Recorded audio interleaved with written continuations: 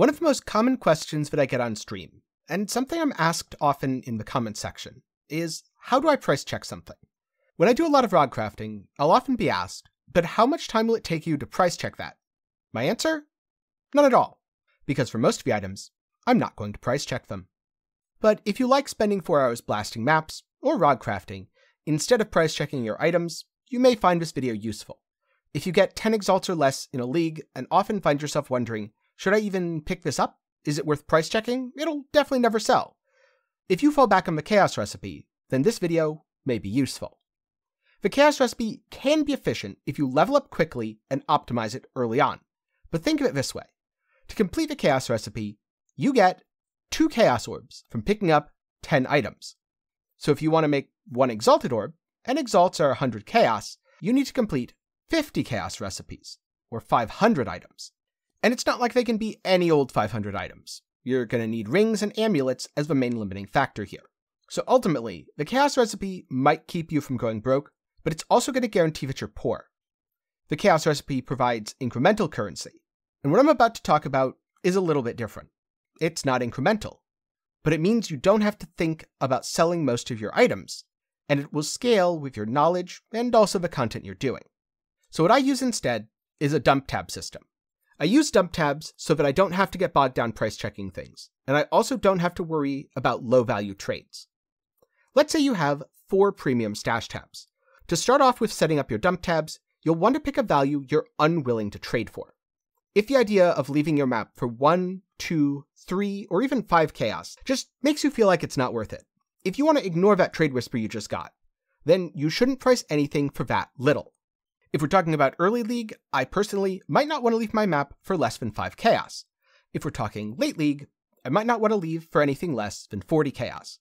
The numbers for you will probably be different than me. But for now, let's go with 5C, because I think that number does apply to a lot of players. So you price the first tab at 5C. Next, you need a good increment above 5 chaos, something where you think a lot of items will fall into that, but it isn't too high either most likely something like 10 or 15. There's no specific magic number here, you can pick whatever you want. But I feel like there's a lot of items that'll sell at 5, and a good few that'll sell at 10 or 15, especially early on. So my second tab will be 15. From there, I'll price the third tab at 30C, and the fourth tab at 50C. I don't expect I don't expect that many things to sell in these tabs.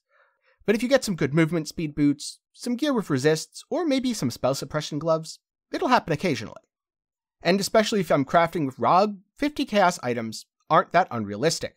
Though ideally, very few items in that 50C tab should sell, because the goal is to intentionally price the tab higher than you expect the items to be worth.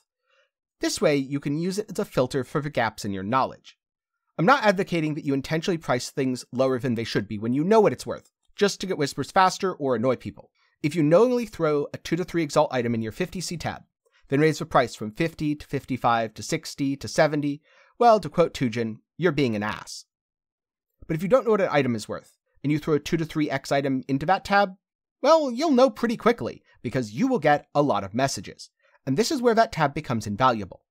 If you put an item into the tab, and someone tries to buy it from you immediately, that's a sign that the item is more valuable than you think.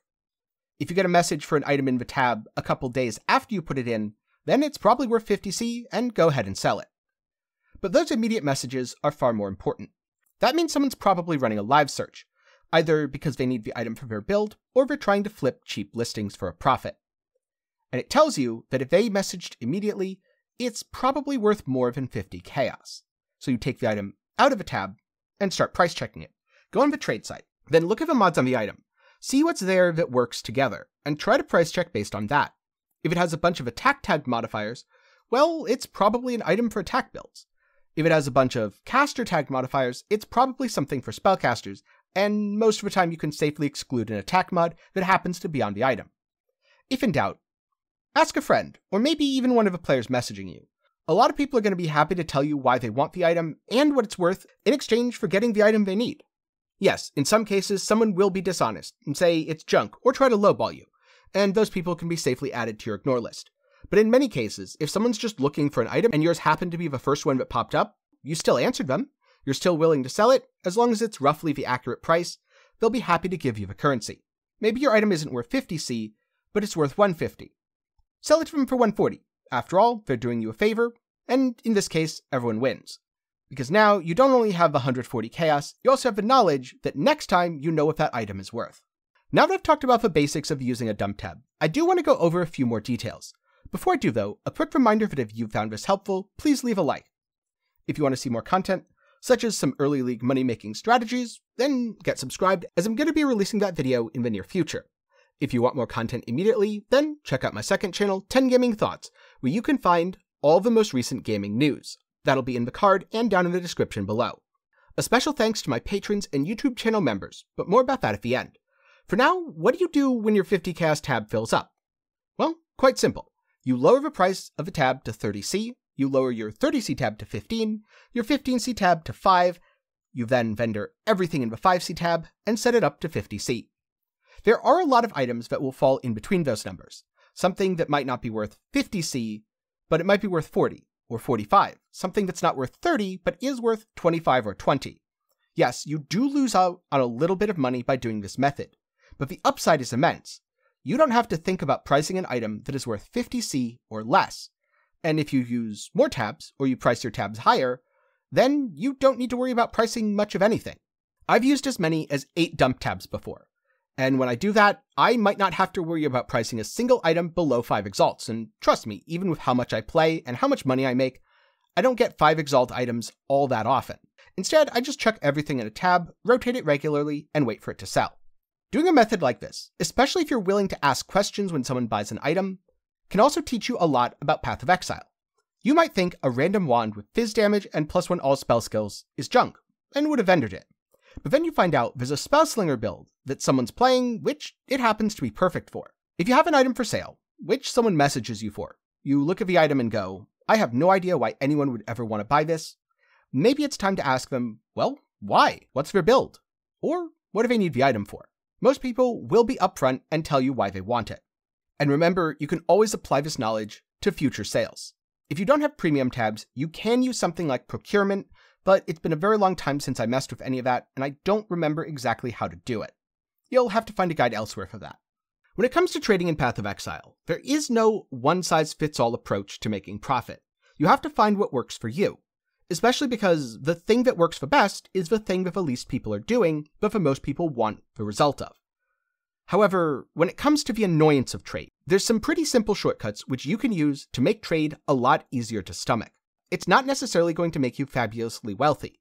I'm sure someone's going to use a clickbait title on a video like this saying, you'll make 100 exalts easily. Well, probably not.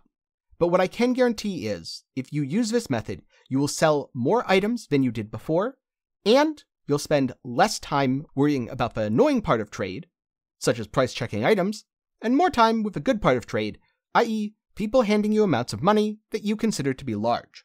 You'll be able to upgrade your build more easily, and you don't even have to bother with the chaos recipe. Who knows, maybe you'll even learn a little bit more about how builds in Path of Exile work, and that could help you make your own build. But now I'm curious, have you ever used the dump tab method before? If so, around how many dump tabs do you tend to keep around?